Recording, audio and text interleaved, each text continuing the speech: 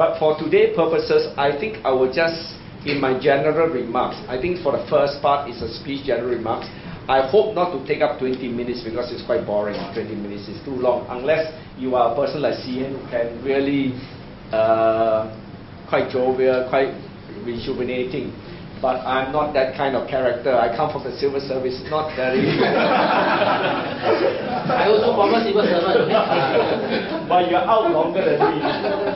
So uh, I hope you don't mind if I take less than 20 minutes because I don't want to really bore you. But I will just concentrate on two aspects of the finance minister's speech uh, in my general remarks. One is about his comment to, to build a stronger society. All right? And the other part is his comment about, um, let me see, uh, developing towards a first-rate developed society. These are general remarks. Uh, it has also relationship with what I have written paper about the economy and all that. And I think we can leave to the, the details later on, the part two. But coming back to stronger society, um, he has, the finance minister has given you a lot of uh, giveaways, a lot of uh, cash grants. Uh, the first part, cash grants, handouts, and the second part is the what he calls social investments, top-ups, education, MediSave, and all that. Um, there's one point, just a distraction. Actually, all these top-ups, the way they've done it is, is like an IOU it's not cash to you. IOU, but they take cash from you to top it up. So in return, the government give you an IOU in your CPF account, but they take cash from you upfront before you can qualify. So for, for, for somebody running a business, that's a very good strategy. Take cash from you before, and I owe you something only when you're sick, you use it. But that's, that's a minor distraction. Um, to the aspect about a stronger society, he has given you a lot we can debate whether they are sufficient, whether they're generous. They are obviously more generous than in previous years, and we know why they do it at this time. More generous this time, maybe they are nervous, so they give you more. Uh, so we can debate.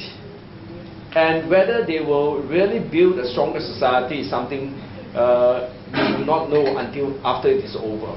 But I know for sure that all these measures will be overwhelmed by two countervailing forces at work in the economy. And these two countervailing forces will work to weaken society, not strengthen society. And the first countervailing force is your foreign worker policy. And the second one is your casinos. These two aspects are the mainstay of Singapore's economic policy under this government they will continue to allow foreign workers to come in. They are moderated because MM said there's disquiet, so we're bringing it down. After election, maybe they will pump it up again. We don't know. Uh, I'm sure being politicians, they will do it this way. They will appease you because they're quiet, but after that, they will go back to their bad ways again. Um, how would this weaken society? We have lots of Singaporeans are not averse to having foreigners.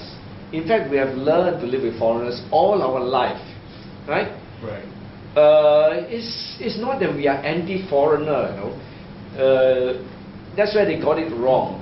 Neither do we fail to appreciate important contribution made by foreigners. Yes, but they come too fast, uh, and the quality is suspect, and they upset us they have, in the past, they stay in construction sites, in the factories, manufacturing. They have now gone into the other sector of the economy, into the services sector as a cleaners. Uh, yes, there's a place for them, you know, but they are coming too much and they more move more into our society, into our neighborhoods as well. And that will be a destabilizing factor for our society, which will weaken us. The second part is obviously the casinos. Uh, you have read about, you know, the the aspects of how they break up families, reports, the latest one being an um, army captain who has to end up working for the loan shark, lost his wife, lost his children, lost his house, lost everything. Um, I brought my family on a holiday of the West Coast in the U.S. just last November, December. Of course, Las Vegas was included in the tour. And I was told, I heard either from a tour guide or from a fellow uh, traveler that in Las Vegas, one in five family has a problem gambler. Are we moving towards that? Remember, this is a city very close city where access to casinos is so easy. You talk about $2,000, it's nothing. You divide by 365 days, it's less than 10. What? How much? $6 a day. It's nothing. Of course, you don't go every day. Let's say you go every weekend, 52 weeks. Each weekend, each week's $40. It's nothing, you know, for $2,000. It's nothing. 40, and if you go Saturday, Sunday, it's only $20. So it's nothing, and that is why you find that the visitors to casinos, they when they introduce a levy, they expected that it will um, only about 10% will be Singaporeans. But what is it now? What do the facts show now? I think about more than 40%, close to 45, 50% of are locals. And we are already starting to read about our friends who have broken fam- whose fam- who have broken their families. So is it what we want? Obviously, people are adults say, "Oh, you know the dangers.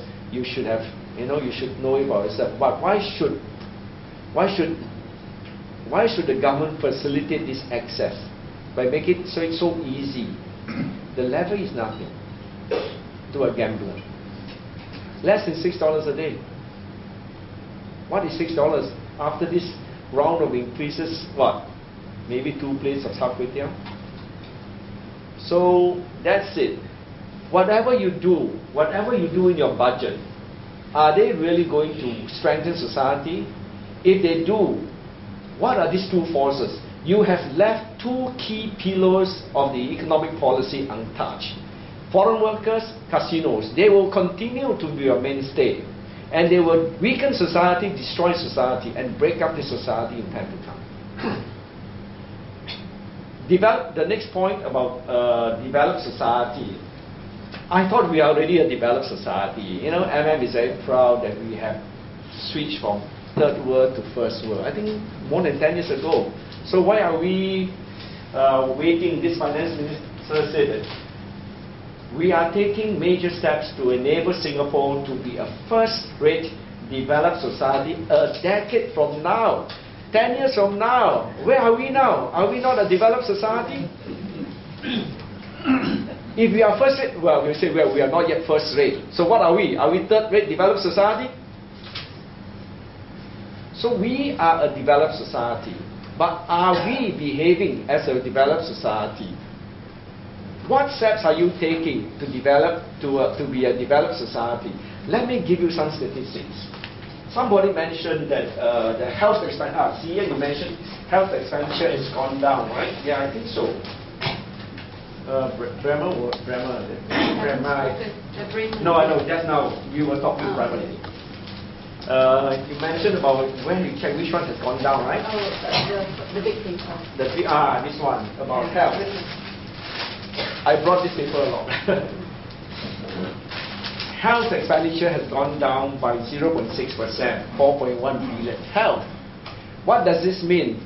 Government has health expenditure has gone down, so they have recovered more from you. They are very proud. This cost recovery, they recover more than 60, 70 percent from patients.